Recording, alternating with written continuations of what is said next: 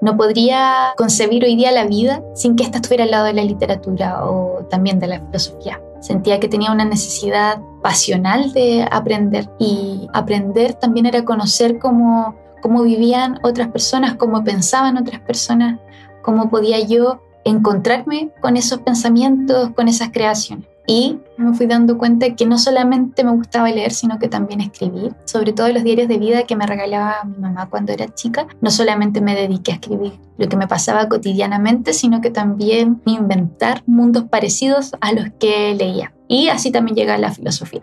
De tanto leer, de alguna forma también llegó otra posibilidad que era la de aprender a leer el pensamiento de otras personas teorías, imaginaciones, pensar y de imaginar un mundo posible distinto en el que vivía, dialogar y encontrarme con otras personas que le interesaban las mismas cosas que a mí.